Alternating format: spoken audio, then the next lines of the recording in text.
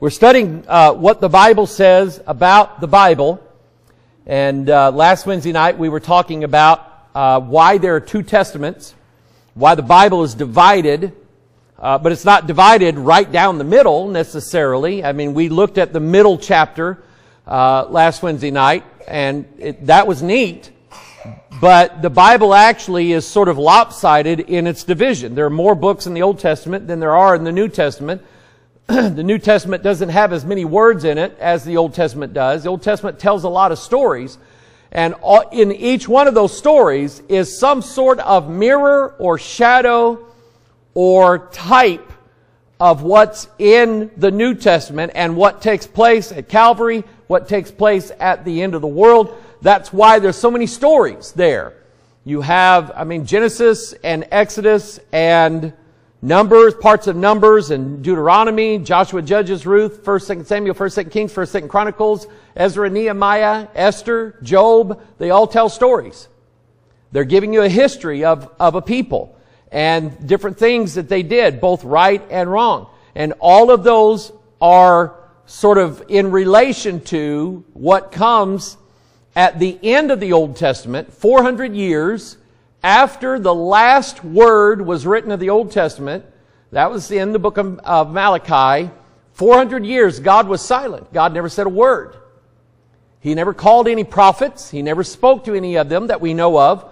Uh, well, I, I, wouldn't say he didn't speak to any, but certainly none of them were told by God to write these things down. So whatever God would have said to any of the prophets during that time is either already recorded for us in the scripture, or God didn't count it worthy enough.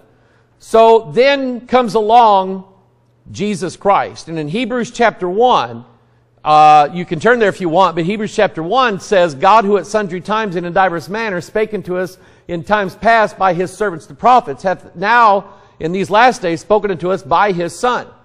So after the days of the prophets of the Old Testament, 400 years later, here comes God's Son, Jesus Christ. That story is given to us in Matthew, Mark, Luke, and John.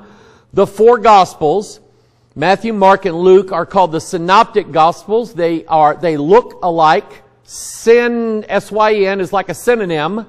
It's similar. And optic means you, they look alike. And Matthew, Mark, and Luke, I, I talked about the uh, teaching that Jesus did at the Mount of Olives concerning the rapture and concerning end times events yesterday. And I compared Matthew 24 Mark 13, Luke 21. They say things pretty much similar, but there are differences in them. And instead of you looking at that saying, well, Luke got it wrong. Luke didn't write it down the way the other two did. Luke must have been wrong. You look at it and say, Luke is providing a piece of information that is added to what the other two have said. And that's what happens in any courtroom, or that's what happens at an accident scene.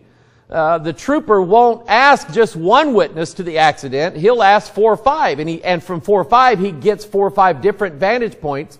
And he, then he begins to understand what happened. And that's what you have in the four Gospels. John's Gospel, however, is different than the other three. It's completely written in a different way. You can, and there's a lot of love in John's Gospel. In fact, the word love is actually found more times in the book of John than it is in the other three Gospels combined. And John was the disciple whom Jesus what? Loveth. Okay? So that's what you get out of John. You get, in Matthew, Mark, and Luke, you get the facts. The historical, accurate record of Jesus Christ and His birth, His life, His death, and resurrection. But John gives you the emotion of it. John gives you the feeling of it. He gives you that connection that all of us have in our emotions with God and with Jesus Christ. So Jesus comes then to bring the second covenant, the new covenant. And that is, I will forgive their sins and I will put my uh, word in their inward parts and so on. Um, turn to Romans 8. We left off in, in Matthew 25. In Romans chapter 8 verse 1, he describes sort of the difference between the old and new covenants. In Romans chapter 8 verse 1, there is therefore now no condemnation to them which are in Christ Jesus, who walk not after the flesh, but after the Spirit. And it could be said that the law deals primarily with the flesh, the body. And the weaknesses, the, the law is good, but the law doesn't make anybody obey the law.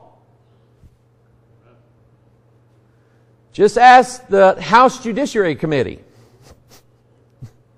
whether they follow the law or not. Okay?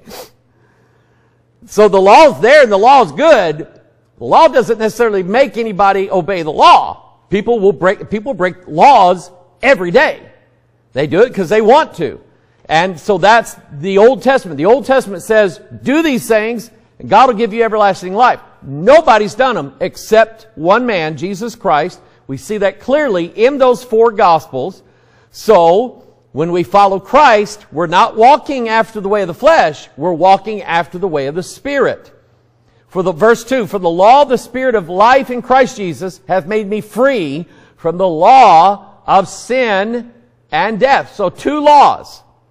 And one makes you free from the other. One then, so the Old Testament had requirements.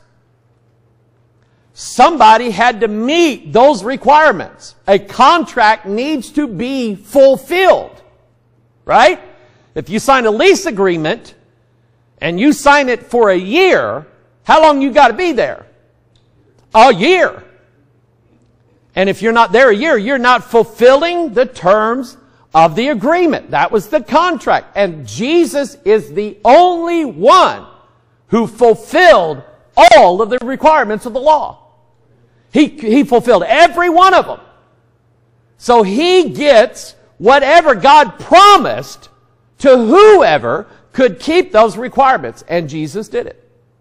But Jesus is not stingy.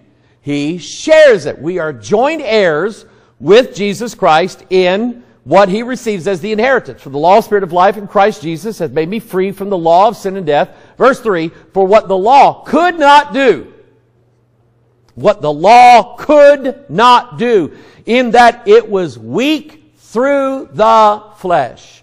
God, sending his own son in the likeness of sinful flesh, and for sin, condemned sin in the flesh, that the righteousness of the law might be fulfilled in us who walk not after the flesh, but after the Spirit.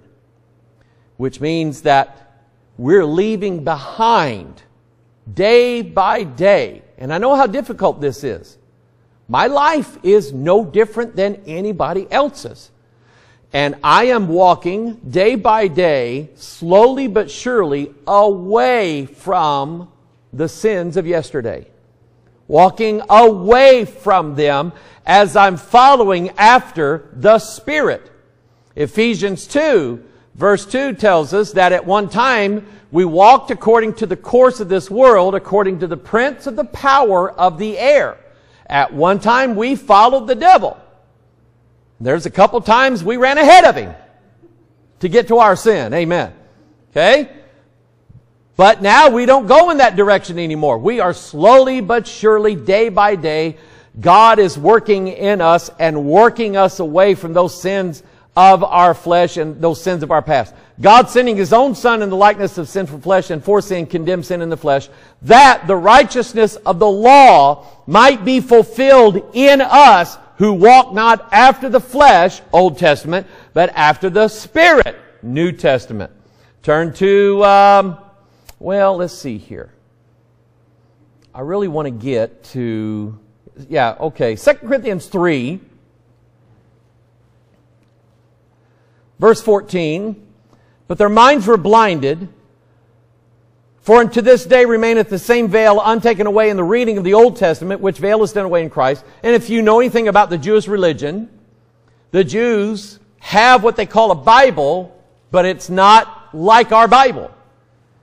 It simply contains the Old Testament and the books of the Old Testament. They read it. I was at an airport one time and there was a Jewish rabbi who was getting on the same plane as I was, and I just kind of sat across from him and I watched him. And he pulled his Torah book out, and I saw him reading the Old Testament in Hebrew. My heart just melted for this man. I loved him. I wanted, and I prayed for him. God's open that man's eyes. The Messiah that he thinks has not come has come. Open his eyes so that he can see. All right. And so, but right now, and, I couldn't help but think this, as he's reading that Old Testament, the Bible's telling, the New Testament is telling us that there is a veil over his mind. That God is deliberately hiding the identity of the Messiah to the Jews for a time. There's coming a time when that veil is going to, which veil is done away in Christ, when that veil is going to be lifted. When Christ died on the cross and there was an earthquake, what happened in the temple? The veil was rent. It was torn in twain. That which veil was taken away in Christ. And to me, it's always interesting because if you study the Old Testament and look at, look at the history of that temple, that, that, where the veil was torn, as that veil is being torn, and now you have everybody who has the ability to look inside the most holy place of the temple of God. They see nothing. There's no Ark of the Covenant there, Brother George. It somehow, we know the Ark of the Covenant was in the days of Josiah, the king, but something happened to the Ark, the table of showbread, the candlesticks. They disappeared. We to this day don't know where they are. But certainly they weren't in the temple. And as that veil was rent, people saw that what they were doing every year for their atonement was no longer possible because there was no Ark of the Covenant. Meaning that Christ had already fulfilled the purpose of the law. There is now no need for the Old Testament Ark of the Covenant. Because Christ has taken His blood to the heavenly Ark of the Covenant. It's there for, and it's going to be there forever. Amen. So that's, that's the difference. Hebrews, uh, Hebrews 9. Very quickly, Hebrews 9, because I want to get to the next point about the Apocrypha. Hebrews 9:15 and for this cause he is the mediator of the New Testament. Just as Moses was the mediator between God and the Israelites, Christ is the mediator between us and God. When we pray, we pray, and this is sort of by habit and tradition, but it's biblical. We must always pray in the name and through the mediator, Jesus Christ. You cannot, we cannot approach the throne of God except by the mediator of Jesus Christ. God is holy and we're not and God will not be in the presence of our, of our sins. So that's why Christ then is the go-between. He's the days man, Job said. Is there a days man between us? Which isn't like an ombudsman or a shop steward or however you want to look at it. There is somebody who is being a mediator between the boss and you, and that's Jesus Christ.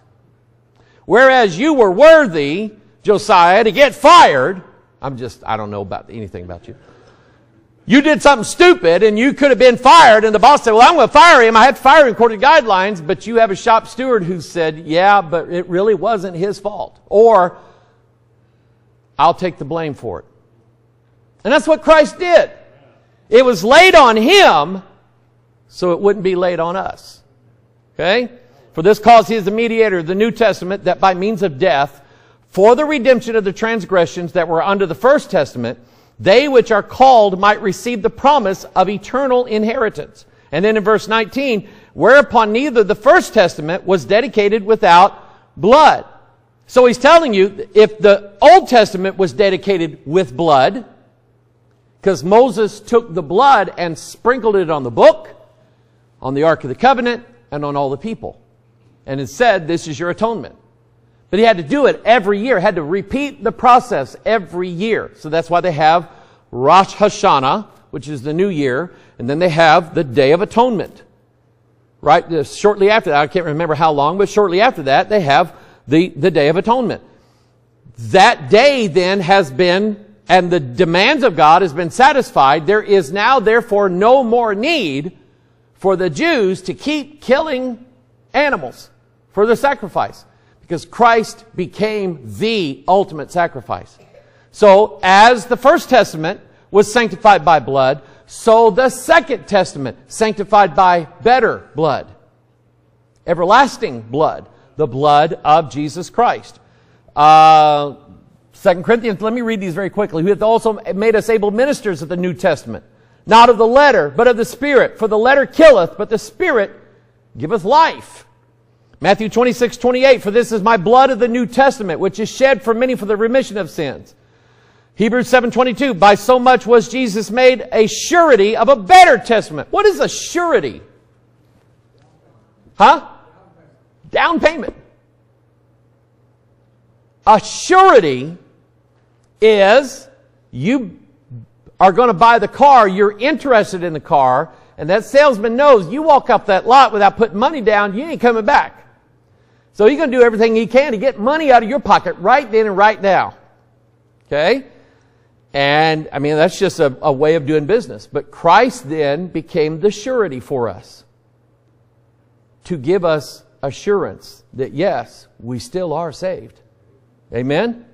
I like these words. These are words that we, these are concepts that we use every single day in our lives. Legal terms that cannot be altered. So if somebody comes along, and I've been studying this for the last few days, how these new Bibles are altering the text of all the Bibles. That's like changing the words in a contract. And if somebody that you have a contract with is changing the words of the contract, why are they doing that? Why would they do that? It benefits them. Guarantee you it benefits them. Uh, Jeremiah 31 Verse 31 is the promise. The old covenant had a promise of the new covenant. Behold, the days come, saith the Lord, that I will make a new covenant with the house of Israel and with the house of Judah, not according to the covenant that I made with their father. Very important to remember. Very important to remember. Because those who promote that we have to go back to the Hebrew roots of everything say the New Testament is not the New Testament, it is the renewed Testament. It is the old covenant made new again. Keep the law. And that's how you're going to be saved and stay saved. Okay? Take care, Ron. We love you, buddy. Have a good night. Thank you. Pray for me on my trip, all right? All right, buddy. Verse 32, not according to the covenant that I made with their fathers in the day that I took them by the hand to bring them out of the land of Egypt, which my covenant they break. God said, I didn't break it. They broke it. Although I was an husband unto them, saith the Lord. But this shall be the covenant that I will make with the house of Israel. After those days, saith the Lord, I will put my law in their inward parts. It's not just on tables of stone in an ark somewhere. God said, I'm going to put it in their hearts. Write it in their hearts and will be their God and they shall be my people. They shall teach no more every man his neighbor and every man his brother saying, know the Lord, for they shall all know me. Hey, do you know Jesus? Why, of course I know Jesus. Well, amen. From the least of them unto the greatest of them, saith the Lord, for I will forgive their iniquity and I will remember their sin no more. That's a promise, by the way. That's God. That's the new covenant. And if you want to know in simple terms what the new covenant is all about, God forgives every one of your sins. Amen. All right, now, how come? And I left my, I was going through that Catholic Bible. No, it's on my desk over here because I was scanning it. How come the Catholics have more books in their Bible than us Protestants. How come they have a group of books called the Apocrypha? A question that I'm asked often, and what you see up on the screen on the right is an actual photograph of a 1611 printing of the King James Bible, and they printed it with the Apocrypha in it. If you buy a reprint of the 1611 Bible, it'll have the Apocrypha in it. Um, and what's interesting is, is that throughout all of the Bible, through the Old Testament and the New Testament, you know, the heading at the top of the pages of the 1611 printed Bible gives you that what's written across the top is the name of the book, the individual book that you're reading, whether it's Job or Psalms or Isaiah or Genesis or Matthew, Mark, Luke, and John. But when it gets to the Apocrypha, they don't put across the top first, second Maccabees, first, you know, whatever, Tobit. Um, they clearly write Apocrypha across the top of each page. In other words, they're separating it out in a, using printing methods, they're separating out the Apocrypha from the rest of the Bible. The word Apocrypha itself literally means hidden away from. Now, I don't, yeah, it's here. I'm going to show you something about, and this is one of the reasons why I think the Catholic Church likes the Apocrypha. I know that in part, their doctrine of purgatory stems from one of the readings in the Apocrypha. I, I, don't know which one, and I haven't studied it out yet. But the concept of purgatory is rooted, from what I remember hearing, and I may have misheard, but it's rooted in the Apocrypha somewhere. It's found somewhere in there. Okay? So why don't we have the Apocrypha in our Bibles? It refers to books of dubious authorship. The Catholic Bible has a bunch of extra chapters to the book of Daniel. Bunch of them. I didn't know that. But they, are, they even add chapters to Daniel. And most scholars agree Daniel didn't write that. There ain't no way he wrote that. So it refers to books, number one, of dubious, which means doubtful authorship and not counted as genuine. Even though the original 1611 publication of the Authorized Bible contained these books, they were clearly stamped Apocrypha on each page. Some clerics in the Church of England referred to them, but the Puritans never did. So if you remember your British history, King Henry VIII was a Roman Catholic until he kept chopping off the heads of all of his wives. And when he wanted to remarry, the Pope wouldn't let him. So he said, fine, we don't have a Pope in England anymore. And he created his own church called the Church of England. And so some of the doctrines, some of the practices of the Catholic Church kind of spilled over into the Church of England. And King James was a peacemaker. He was a peacemaker king. He wanted peace in his kingdom, which is why in 1604 at Hampton Court, he gathered these clerics and these bishops and all of these leaders and he said, I want to translate the Bible and you guys are going to do it and I'm going to use Church of England scholars, yay, and Puritan scholars, boo, because they didn't like each other. The Church of England scholars, they, they felt very favorable toward the king and the divine rights of kings, whereas the Puritans said, we don't want no stinking king telling us what to do. Okay? So King James said, you guys are going to sit next to each other in groups. You're going to translate this thing. And it's not going to lean toward the Anglican church doctrine, and it's not going to lean toward the a Puritan church doctrine, it's going to follow the Greek and Hebrew and other translations. In other words, I want a clean one. Not one where you put in all these notes and not one where you translate it because you wanted to say this certain thing, which the Geneva Bible did. Did you know the Geneva Bible, it was a Puritan Bible, but the Geneva Bible actually added something that we're wrestling with.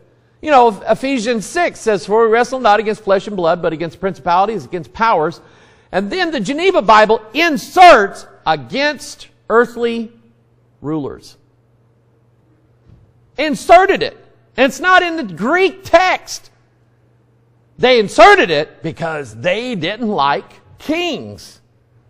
It's probably because kings had them all killed. Queen Mary, Queen of Scots, Bloody Mary, was the queen before King James of England, and she hated those Protestant Puritans. She had them slaughtered. So they didn't like the, the kings, the queens of England, and the kings and queens of England didn't like the Puritans. But King James said, You're going to sit together and you're going to work on this thing and you're going to do it right. Okay? So, as a compromise, the, the first printing of the 1611 King James Bible had the Apocrypha in it. The Puritans, they didn't touch it. Church of England would use it in some of their church services and so on, and part of some of their teaching. It is also noted that there are no apocryphal quotations in the New Testament. In other words, Jesus and all the apostles and the writers of the New Testament, they quote heavily from the Old Testament. They don't quote one time from any book in the Apocrypha. That tells you something. It's not that they didn't know those books were around. They knew they weren't scripture. Now, I'm going to show you something I found years ago in the book of 2nd Esdras, which is not in your Bible, it's in the Apocrypha. Now, the Catholic Church is, in my estimation, a mystery religion. And, and I just read this the other day. The official Catholic position on, let's say, uh, Hyun Mi is a Roman Catholic. We're just pretending but she's a Roman Catholic, and she goes to the priest and says, Oh, I've been reading my Bible, and it says that you're supposed to be married.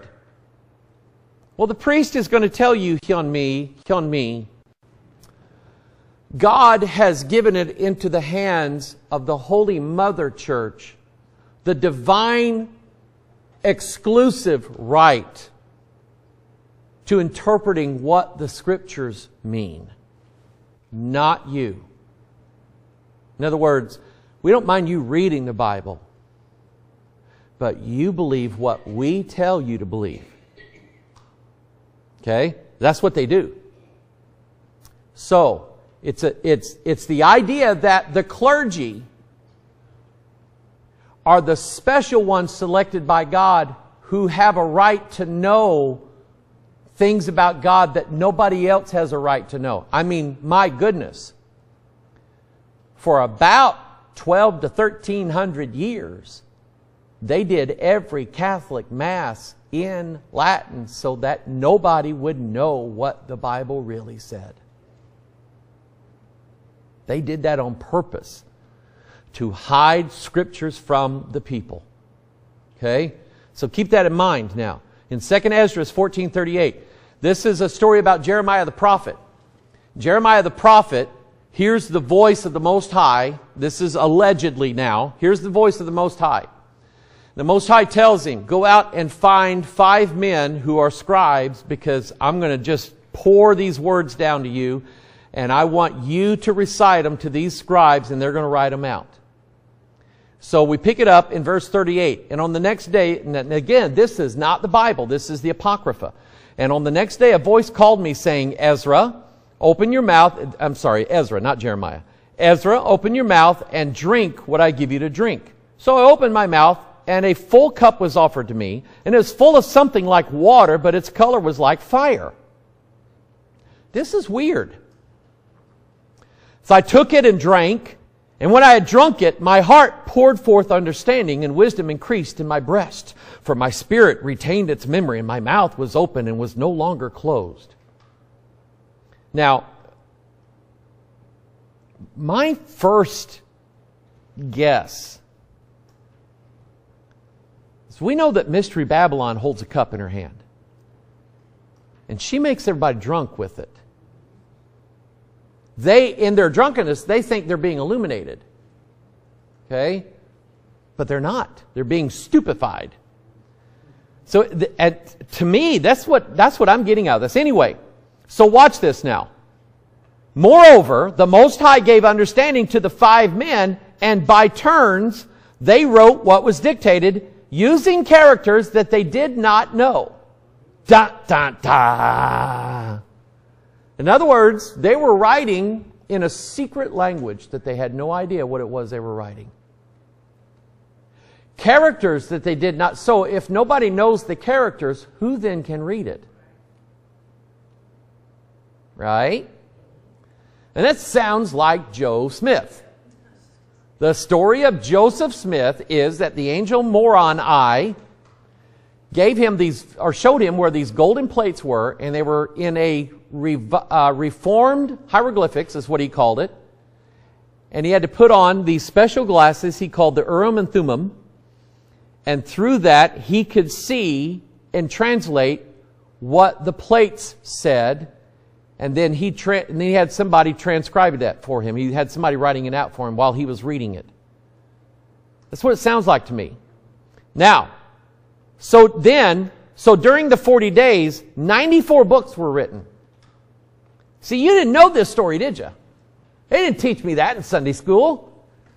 And when the 40 days were ended, the Most High spoke to me saying, make public the 24 books that you wrote first, and let the worthy and the unworthy read them. But keep the 70 that were written last in order to give them to the wise among your people. In other words, the unworthy people, George, are not allowed to read them.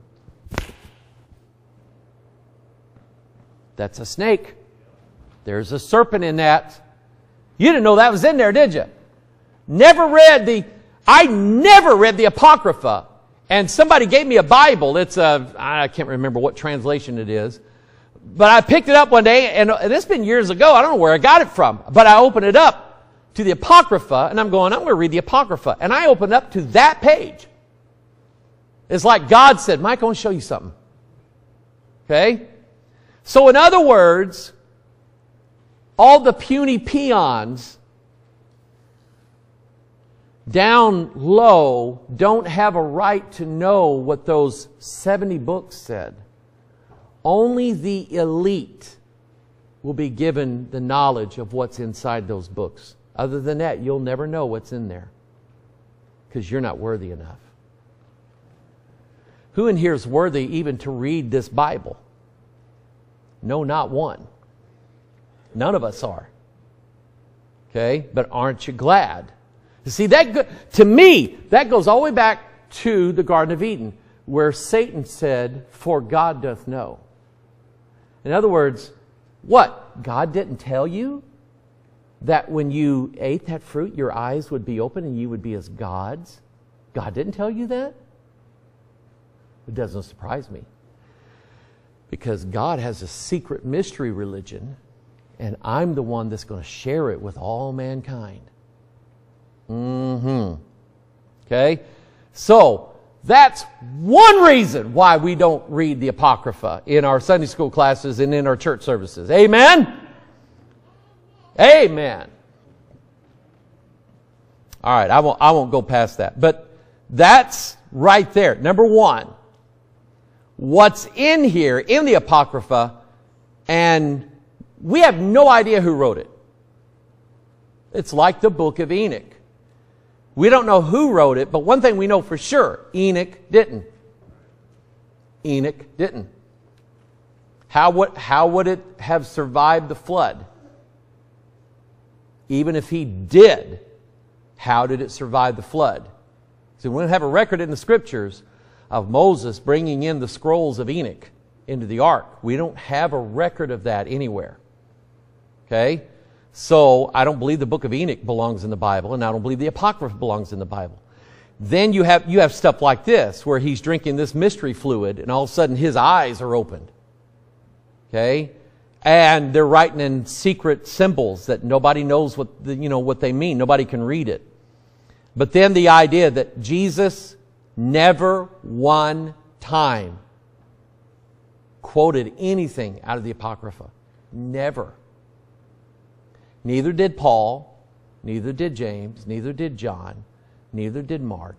None of the New Testament writers quoted anything from the Apocrypha, but they quoted heavily from the Old Testament. So that's the bridge. That's the idea that we have these two testaments. Can two walk together except they be agreed? just like your two legs or two people in a marriage. Can two walk together except they be agreed? And so as the, as the legs keep going, so does the Old and the New Testament. Just keep rolling along. Amen? Okay, and this is how God is going to lead us to that heavenly promised land is through the pillars of fire of the Old and the New Testament combined together. It's here a little and there a little. It's precept upon precept, line upon line. It is, as Paul said, comparing spiritual things with spiritual things. Spiritual things in the Old Testament, spiritual things in the New Testament. Paul didn't say, and spiritual things from the Apocrypha. He did not say that. So, that's why we don't read it. Beyond what I just showed you, I haven't spent five more minutes reading anything from the Apocrypha. I don't care what's in it.